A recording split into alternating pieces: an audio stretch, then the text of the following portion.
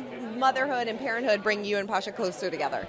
Oh man, we were close already. We're together for almost 15 years, and he's literally the best father. And just watching him with her, with holding our daughter, just made me love him even more. Was it an easy decision to come back? Like, we're just very fortunate that Pasha's parents live in LA, and they're the best at taking care of her while we're gone.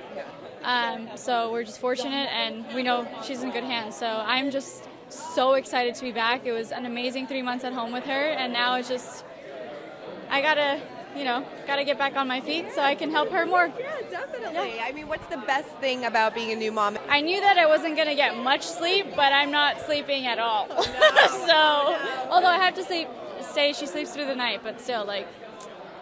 It's, it's kind of hard. It's hard, but it's, it's very hard. It's okay, but it's okay. You're gonna power through.